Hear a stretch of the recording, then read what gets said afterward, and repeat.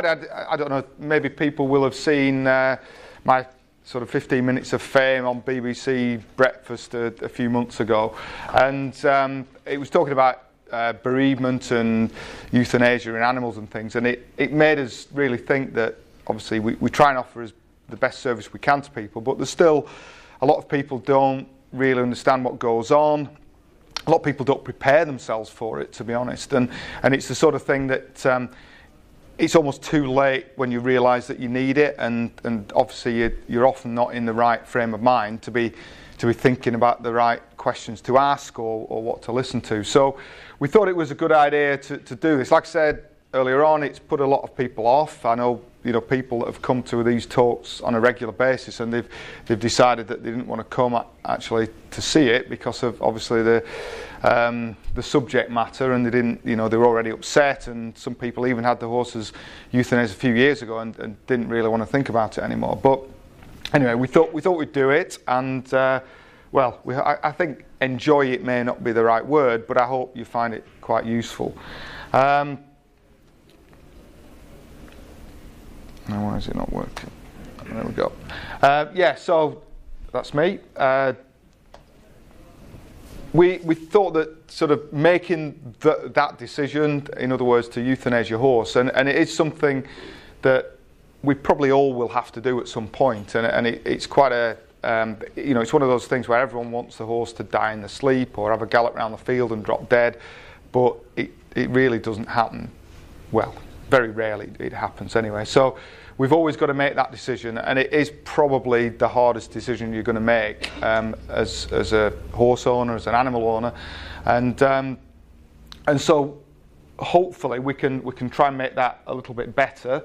And and certainly as, as a practice we uh, we will try and do our very best to help you with that and, and to try and make it a little bit easier. Um, and hopefully starting with this and and you know if, if we can get you know if Dave can take this and put it on our website then other people can can access that if they need to so um, I was just I was really struck by the amount of, of training that, that vets get. Uh, you know, again, anyone that that watch the thing on, on BBC will realise, uh, and I'm not going to talk about that all night, I promise, um, but they will realise, really, as vets, we don't get that much training on euthanasia or, or bereavement or how to cope with people or how to really counsel people, which I think is, is an important thing because it is, it is the loss of a, a loved one at the end of the day. You know, I. Um, I, I, sort of equated it to like the loss of my mum, and, and it, it, it, really is like that. You know, you, you still have the same emotions, and and you know this this is my uh, well the, the, qualification I did, and this is the only euthanasia bereavement training that we got, and this is one you know small section. This is a the A um, A module of a um, of a well equivalent of a master's degree, my, my orthopedic certificate, um, so orthopedic surgery certificate, and so it, it's a tiny, tiny amount of that, and and the vets nowadays get very much the same, or they might do a little bit of role playing with an actor, where they're trying to console somebody, but it really is a, a badly done thing, I think, in the veterinary world. And um, although there are various other support things like we'll come to talk about, um, really, as you know, we're, we're in the front line and we're relying on our, I, I think, our uh, self or our, our compassion, our internal compassion to try and get you through it. So we will try and do that as much as we can, but it, it's still very hard. And I think, you know, like I said, we're not, we're not psychiatrists, we're not psychologists, we're not counsellors, but we will do our best and, and really do what we think is, is the right thing. So, so really, when you're talking about euthanasia, there's, there's two types really, and, and it, it does make a, a big difference to how you cope with it and um, and how you as an owner can deal with it. So the first one is elective. So that's when you make the decision. You actually decide the time's come, I'm going to euthanize my horse. Um, and then there's an emergency one where you really don't have that option. It, it, we're talking about broken legs, we're talking about surgical colics, we're talking about a horse that won't get up in the field, that, that type of thing. Um, and the, the, emotions with those two are very, very different, and um, we'll come on to, to chat about that. So, elective. Um, this this is a photograph of an old horse. Um, he had the he had well you can see his, his left knee there is huge. It's um, it's very arthritic. He was knuckling over at the knee. He couldn't stand. He actually bent sideways rather than forward and backward. So we got to the point with this horse. He was 28, something like that, and he'd, he'd had a good life, and you know, um, but the decision had to be made. He was actually otherwise in good health. He was eating well. He was, you know, his coat was a good condition. Um, so you, you know that that is a hard decision to make. You have got to make that decision, and you've got to effectively, I suppose, you know, kill your horse is, is what we're talking about, or, or make the decision to do that, um, which, like I say, is, is a very hard thing to do. Things like arthritis, tumours, Cushing's, even younger horses sometimes with laminitis, we have to make that decision, but you make that decision at, at the time. And, and, it is the hardest to make. Um, one of the things about it is you generally have time to get your your head round it, so you you know you, you prepare yourself for it, and that is a that is an important part. Um, but there is a lot of guilt associated with that because, like I said earlier on, you feel like you're killing your horse. You feel like you're you know you're responsible for for taking the the life away, and, and that is a really hard thing to do, you know, to actually make that decision. And sometimes, you know, the, the timing of that is very difficult as well. You know, are, are, you are you doing it at the right time? Is it too early? Is it too late? Could it have lived another couple of weeks, something like that?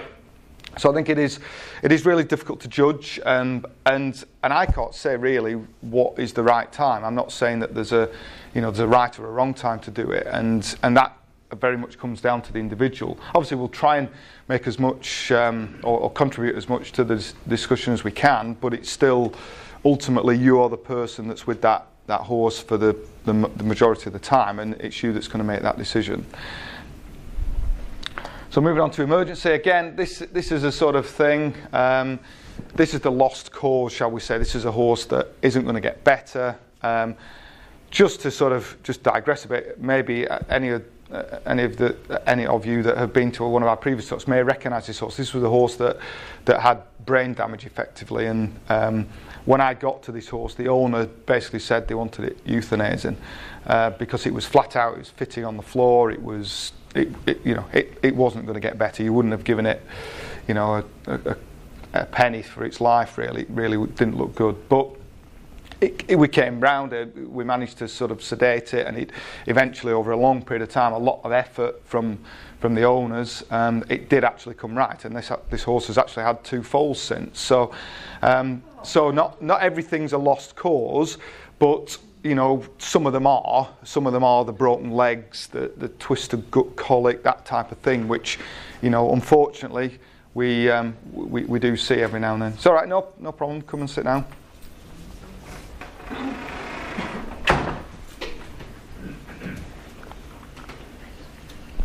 Yeah, we're just going through, just for the people that arrived, we're just going through a, about the, the different sorts of, um, of times you make the decision. So you've got elective ones where you decide to make it, or you've got the emergency ones where you don't really get a choice. You know, these these are the things that um, your horse is basically in, it's suffering really, and it, and it needs to be um, it needs to be euthanized. And I, I know it, it might sound an odd thing to say, but actually this is a really nice thing that you can do for your animal. And I think in both situations, both elective and for these emergency um, situations, you know, it's one thing that we don't have it in human, in, in human medicine. You cannot say enough's enough, you know, and I, have I've seen people that have been in that situation where it's nil by mouth basically to, to dehydrate them to death, and it's not a nice thing to see. But at least with horses, we can, well, with animals, we can give them that, that dignity and, and that sort of that time to, um, to go with a, with a bit of peace. Um, like I said before, emergency, there isn't a decision to make. Um, so you don't tend to get the guilt that you, you got with the elective one. So you don't really think, oh, I killed my horse, because it, it was necessary. It had to be done at that time. There was no waiting about, there was no messing about. It had to be done. And as it says there, on humane grounds. So it, it was for the, the horse's welfare that you did it. And like I say, a lot easier to, to sort of decide on that. Um, sometimes it, you may not get that, that sort of opportunity to say goodbye to your horse in, in these sort of situations. So um, this is Eddie. He's, you, some of you may well have known if you if you follow us on Facebook. is is a horse that had colic surgery um, just over six months ago now, and basically we it was touch and go whether we we euthanized him before he, well, we, we weren't going to send him for colic surgery basically. Um, he was at home and Emily decided that he, he wasn't going to make it and that it was it was a good idea to euthanize him. I thought we'd give him a chance, and we did, and thankfully we did. But seeing him in that state, he was in he was a horrendous mess. You know, he really I I, I, I know it's worse when it's your own animal, and you know you, you get more distress. But he really he really was a mess. He was. It looked like he was neurological, which I know people say sometimes with colic. Um, and I, you know, I, I, can't say I was very adamant that he was going to survive. And I actually, on, on the way to the, the hospital, we. Um, I made sure I had a, a, a euthanasia kit in my car. Uh, sorry, in, in the uh, in the horse trailer, uh, horse box. Sorry, um, to be able to give him it if he wasn't going to make it or if he collapsed halfway to the journey. So, it's um, it can happen, but once he was there, I had to say to Emily, look, you, have got to say bye to him. You've got to, you know, give him a pat, give him a kiss, whatever, and accept that he may not survive. And and sometimes that, that can be a, a difficult thing to do, and, and sometimes it's even worse when you've dropped them off, say, you don't wait about for the colic surgery and you go home, and then you get that dreaded phone call where, oh God, they've gone downhill and you can't get back to see them. So, you know, you've got to sort of be aware that sometimes in different situations you don't get that opportunity to say bye. So, um, you know, again, another thing which you know you often can with the other to- sorts of things. So, preparation. Um, well, if we can, you know, where we're going to do it, who we're going to do it. So this is the actual moving on from you know the I suppose, the dilemma of, of when you make that decision or if you make that decision. Uh, now we're moving on to more like preparation about the actual act of doing it. And, and this is really important as well. There's a lot of factors we'll, we'll come on to talk about, but you know, it, um, it is really important to prepare yourself um, if possible. And the reason I say if possible, um, like I say, it may be elective or it may be emergency, so you may not have the choice. Um, you may be on holiday, and, and the number of times this happens, honestly, you, you, almost wouldn't believe it that people go on holiday, and while they're on holiday, the horse has a, a wound over its joint, or it's gone, you know, it's, it's broken its leg, or something like that. You can't get hold of the owner, and and nobody's really made any preparations for it. And it sounds a very morbid thing to do, but you know, it, it's sometimes necessary, even at work. And, and I know, you know, I'm not saying you go to work dreading every morning what's going to happen, but we've had people you just can't get hold of them at work, and again, there's a, a decision to make sometimes. So um, it is hard, and, and like I say, it sounds a bit a bit morbid, but make arrangements. You know, decide what you're going to do. Even tell somebody on the yard if you if you're on a delivery yard where you know the the owner knows. Um, what you want to do. You know, make make sure that that's that's done. So that's that's the if you can. Then there's the where. You know, where you're going to do it.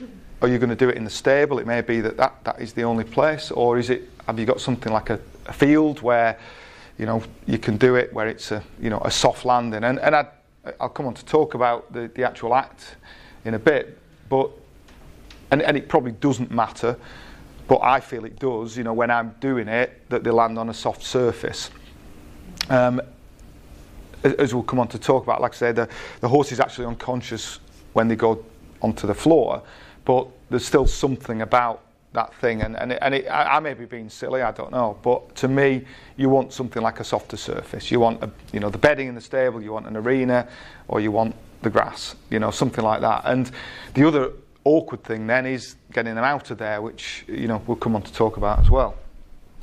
So if it's in a stable, um, it's okay doing it in the stable, but then if they're in the opposite corner, then it's very difficult to, to get them out of that. So I think again, you know, th- there's a lot of things to think about. Sometimes you don't have that opportunity to, you know, to decide that. You know, it, it literally is just well, you do it here because the horse can't walk out. You know, it's in the field because um, you know the, the horse is uh, that lame that it can't be moved. So you know, really, really important. Just um, just try and have a think about it. Like I say, it may be if it's a broken leg, if it's laminitis, you, you, it's not fair to walk it across, you know, 200 metres down the, the field so that you, can do it in the field. Um, or if, if it is an old horse that's in that's gone down in the field. Again, you can't move it. It's you know you you, you want to move it when it's dead rather than moving it um, when it's alive. So. Um, Um, where again, it, I suppose it depends on the timing of the euthanasia. So, you know, are you going to do it in a stable on the yard? Um, but then again, if it's a busy livery yard, the, that's the last thing you want with people walking past, and you know, um, if it's if it's a, a, riding school, people walking past. So, you know, th- there are things when you, you know you can do it at sort of school times, um, or even sometimes um, when can everyone be there? You know, that that will often dictate um, when you do it as well. And and that again is an important thing. Everyone wants to say bye to the the horse. So you know, try and try and arrange it, and, and then arrange where you can do it. So where um, you know th- this is our, actually our yard, and, and I've thought long and hard. In fact, coincidentally, that is Eddie's stable that he was in when he started colicking. And you can imagine if we were to euthanize him in there, it, it's a hell of a job getting him out of there because basically it's either the top where you can see the, the light at the end of the yard or it's, it's an equivalent distance the other way. So how, how the hell would we have got him out? But, um, but you know, that, that's, that, that's secondary to the horse's welfare. That's got to be primary. And, and I always think, you know, at the end of the day, I'd rather move a dead horse than move one that was alive if, if it's in that much distress.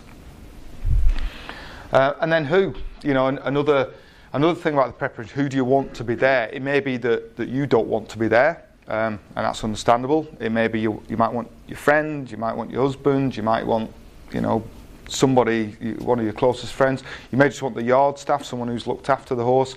Um, you may just want us to do it on our own and just go away around the corner and not watch it. And again, that's perfectly understandable. I, I, I can, I can really empathise with people that don't want to be there.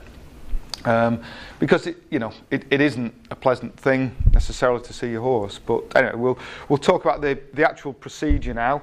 Um, there aren't any nasty photos, so don't worry. I'm not going to show um, show what uh, what exactly goes on. Um, but I suppose this, this might have been in the, in the bit before about sort of elective and um, probably more elective euthanasias, but the, the actual procedure, it's often a good idea to have a lot of discussions with people whose opinions you respect, and that may be family, it may be friends, um, it may be people obviously like ourselves, um, or even the farrier. You know, often the farrier is a, a good friend of yours because um, you see them every six weeks, they know the horse inside out, they may maybe done them for the last 30 years. Um, or even a physio. You, again, you may have a, a good friend who's a physio or a back person, or it might be the dentist or whoever. You know, it, it doesn't really matter, but but you know, be prepared to discuss it with them. Don't don't worry about doing that sort of thing. And then another thing which um, which does unfortunately rear its ugly head sometimes is insurance formalities, which it, it's almost it, you almost feel a bit disrespectful talking about this sort of thing when you're having your horse being euthanized, but it often causes a lot of problems after the event. So if the insurance company um, are going to be funny about it, it causes a lot of distress for you as a horse owner afterwards. So get things that like this sorted out earlier. There's this thing called the BEVA guidelines, the British Equine Veterinary Association guidelines, which basically say that an animal has got to be um, in constant and unrelenting pain that cannot be controlled by painkillers, which in, in a way that that's a you know my summary of it but it basically is a horse with a broken leg or it's a horse that's got a twisted gut or something like that or it's basically not going to survive so it's not just your horse that's two out of ten lane because it's arthritic and things like that um, I don't actually agree with them I think it should be a bit more wide ranging than that, but that's what they stipulate, and that's what the insurance companies um, have as their their rules and regulations. And it's a good idea to read that actually, because um, you know, that it depends on what the insurance company interpret as your horse as to whether it meets the BEVA guidelines and whether they're going to pay out on it. And again, it's so distressing afterwards when people are trying to get money back and um, it, it, really isn't nice. So again, try and sort it out beforehand. We'll do everything we can to help you in, in with that, you know, and and we'll do our best to, you know, if, if we can get them to pay out. But at the end of the day, we can't lie. We can't say yes, the horse couldn't weight bear on its leg or whatever.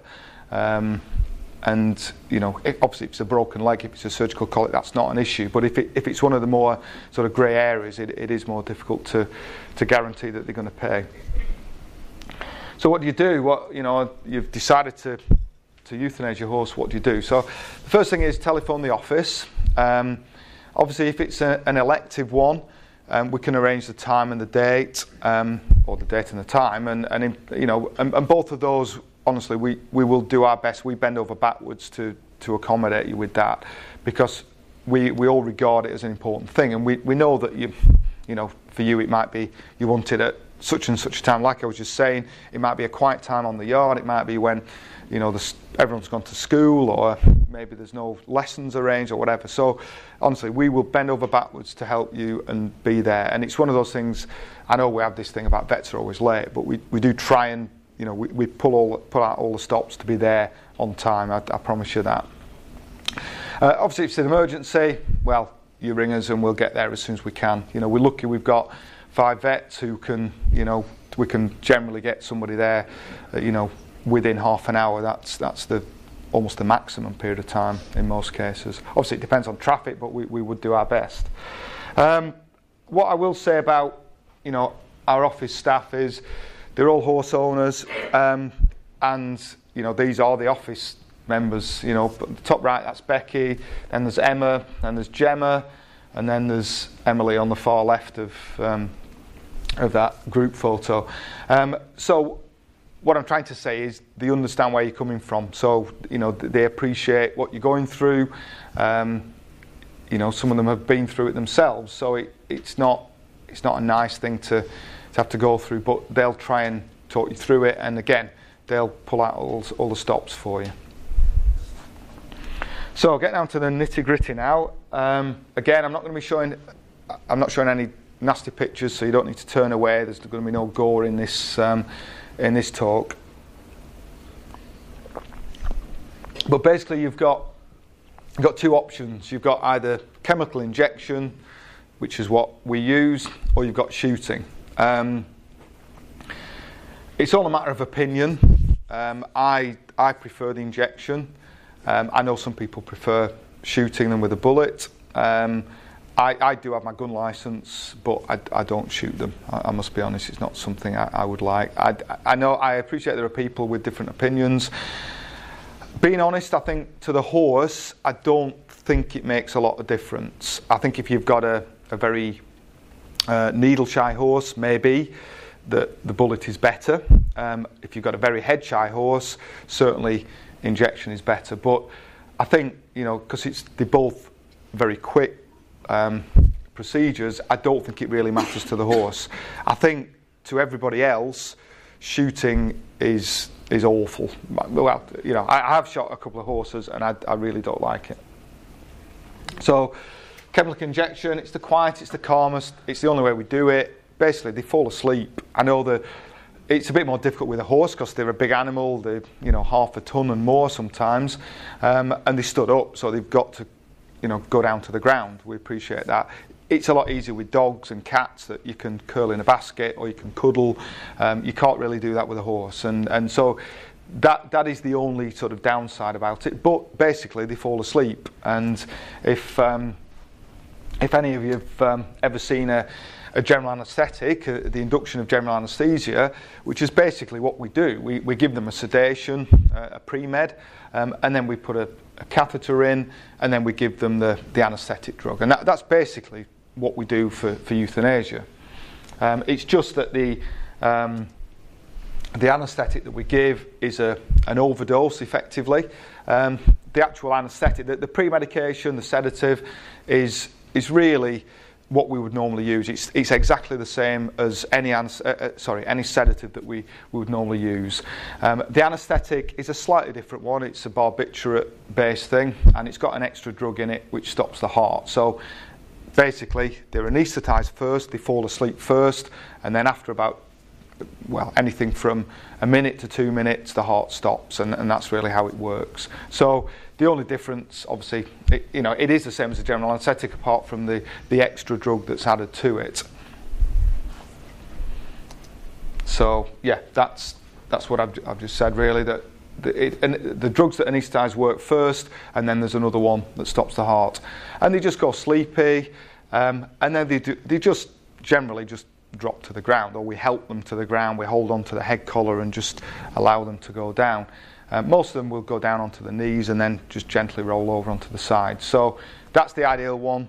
okay, you'll, you'll have heard some horror stories, I'm sure, where you know horses that don't die and things like that. Um, yeah, I've heard of those. I, I, can honestly say, touch wood, I have never had that happen to me. Um, I've been qualified for 24 years now. I've euthanized a lot of horses this way, and I've never had it happen to me. I may just be lucky, I don't know, but um, you know, I I can honestly say, that, you know, if you do it properly, it will go according to plan. Um, I hope I don't end up eating my words, but anyway, um, that that is the way. Shooting, um, well, yeah, it's done with a free bullet. It's not as pleasant an experience. I, I know I'm not saying it's a pleasant experience, but it's. It, has anyone ever seen them being shot? Yeah. Okay. maybe a couple. Um, it. One of the one of the main things that I don't like about it um, is it, it's a very violent sort of procedure. It, it's you know it's it's like a big bang and then they drop to the ground often there's a huge amount of blood coming down the nose, and they'll often gallop. You know, they almost like have these these sort of muscle contractions, and and it's really unpleasant to see. Um, I can honestly say I've never seen that with chemical injection, with, with you know drug euthanasia. Um, some of them will stretch out a little bit, as they, uh, you know, tremble a little bit as they're going down, but not the flat-out gallop that I've seen with with shooting. And I, yeah, okay, like I say, it's, it's, individual preference, and the main thing is to the horse, it doesn't make any difference, but it's not as nice to see. Um, I suppose one of the things about shooting, which probably doesn't apply to us, I, I, don't, I honestly don't know any clients that do have horses for human consumption, but obviously if we inject them, they can't go for any animal consumption. So um, shooting is the only thing that you can actually put them into the food chain after that. Um, I've, I've, already mentioned this. Um, like I said, I don't believe the scare stories. I, I think th- there's always good and bad. You know, I've heard of a horse has been shot twice, three times because they missed first time. Now, that that just doesn't happen. I, I, you know, the people that I know that do shoot them are very good at it. They, very, they do it on a regular basis, and they're very good at it. So, I, I don't, I don't, you know, the scare stories either way of the injection or, or the, the shooting. Like I said about head shy, needle shy. I say personally, I, w- I would always inject them. That, that's just my feeling on it. I think it's a, a far quieter, calmer. I, I, you know, like I said before, it's almost like the final act of dignity you can give your horse. And sometimes it is a nice thing to do. I know that sounds a funny thing to say, but it is a nice thing to do. You can just let them fall asleep. Um, if they're down, it makes it even easier. Um, but you know, it, it's not a pleasant experience, but hopefully we can try and make it as, as manageable as possible and, um, and hopefully for the right reasons that, you know, you've, you've, you're saying goodbye to a, a friend and, and that's it really. Um, something that, you know, after you've done the event, um, which is, is, I think it's becoming quite a, a popular thing now, but there are even, even where people you know take pieces of mane and tail and things like that they can make them into jewelry now i think in a necklace or bracelets and things like that um, obviously people will want the shoes back. That's quite a common thing, and, and some people want their ashes back. And again, uh, you know, I I've still got um, some dog some of my dog's ashes that I euthanized about 16 years ago, and I, I keep. Well, I, they were under the bed, but I think Emily's probably moved them now. Um, but um, I'd had them for 16 years, and I, I didn't know what to do with them. Um, and, and, so I, I, understand people who don't want their ashes back. I understand people who do, and you want to scatter them on the field. That's that's great. But sometimes you just, well, I don't know, maybe I'm a bit pathetic, but you just don't want to let go. What? You've thrown them away? You better not have thrown them away, no. um, um, so yeah, I, sometimes you just don't know what to do, and, and it, it's part of that letting go. And you know, I'm possibly the worst person to talk about that, really. But things like plaques on um, on a bench or a wall or a tree or something, that that's quite a nice thing. Um, and you can even bury the ashes underneath. That that's often a thing. And then you know, coming on to the bereavement thing, you know, however you feel, that's that's okay. There's nothing wrong with what you feel. And I, I always get it where people people are crying when they, are having the horse euthanized and they're apologising to me, and and I, you know, they don't need to apologise. That's the first thing, but. I, and, and this does make me sound a bit odd, but I actually quite like the fact that they're upset because I think that shows that they had a real bond with their animal, and um, and I actually worry more about the, the situations where the owners are very cool and calm and just walk away and they're not upset. I, it almost thinks, you know, makes you think, well, I know what I'd be like in that situation, and it means, you know, if they are upset, they've got a real bond with them. So, um, and there's nothing wrong with how you feel. There's nothing, you know, we're not automatically going to just go like that and, and go back to normal. Um, you have lost a friend, you've lost a family member, and, and the amount of time, there, there, was some survey done, I think I've, I've spoken about this in the past, about the time spent doing a certain activity every week. And I think, um, as regards sort of people times the number of hours that they do it every every year, I think horse owning or horse riding was the highest in the country because that okay, there's not as many people that play, uh, that, sorry, that, that ride horses as say play football, but you spend a lot more time doing it. It's often at least an hour a day. You may, you know, weekends you might spend four or five hours there. So the actual number of hours, yeah, if, if you're Gemma, uh, you spend four or five hours every night with your horses. Um, you don't go home till 10 o'clock. But, you know, so the, the amount of, of sort of people hours that are spent is more than any other activity in, in Britain, I believe. I, I, it might be one of those urban myths, but maybe Mike's going to talk about that in a few minutes. I don't know. But, um, but you know, you've spent a lot of time. They are part of the family. They are the people that you talk to. You, you know, you, you've just broken up with your boyfriend or you've just had a, a bad time at work. You go and chat to your horse, don't you? Well, I do. Not that I've got a boyfriend, but anyway. Ignore that. But um, um, but yeah, you, are allowed to do that. And um, anyway, I, I, sorry, I was I don't know. Maybe I'm trying to make it a bit easier, but um, yeah, the stages of grief. These these are a natural thing. This is what you go through. Uh, this this is uh, you know regarded as a, a human psychology thing. Um, and we, we all go through this and you know denial it's not going to happen you don't want it to be done it's you know there's nothing wrong with my horse you know all this sort of thing or or even you know I can't believe it's happened you know why me you know anger why me why is it that horse why is it an 8 year old horse that you know potentially has a surgical colic and, and could die rather than the 28 year old that's in the field that's had a good long life you know why is, why does it happen to me my horse you know, I know there are some people in here that have just, you know, the horses are always getting things wrong with them. It's not because they don't look after them; they probably look after them too well. Um, but you know, why is it always me? Why does it happen to me every single time? And then, you know, this bargaining thing. Oh, what, what if I'd just done that? If I hadn't have, if I hadn't have put him out in the field, he wouldn't have got colic. If you know, if I hadn't have put him with that new horse, he wouldn't have been kicked. You know, you can always what if and why did I do that and if I'd only done something different.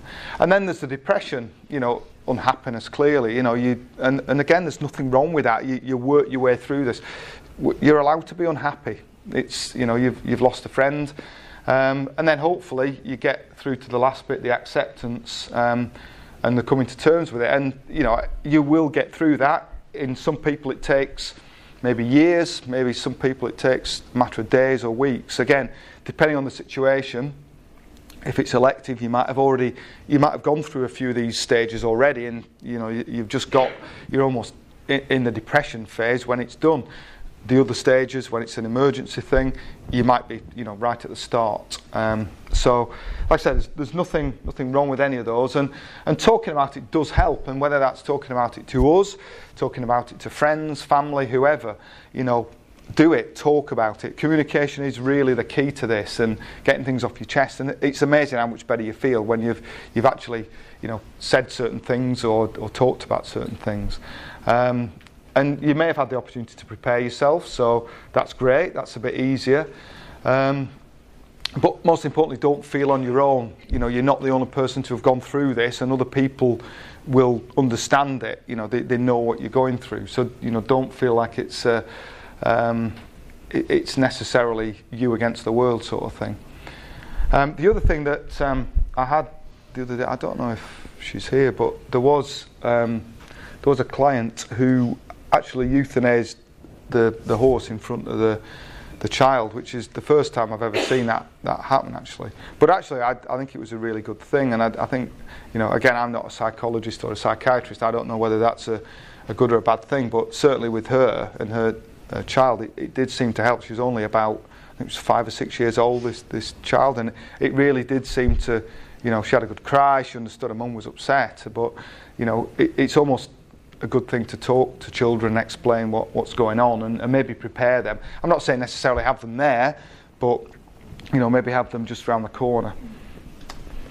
Um, and then, you know, we're always here to help. You know, we will try and help you as much as we can. We'll, you know, quite literally hold your hand through it if you want us to. Uh, ring us to talk, you know.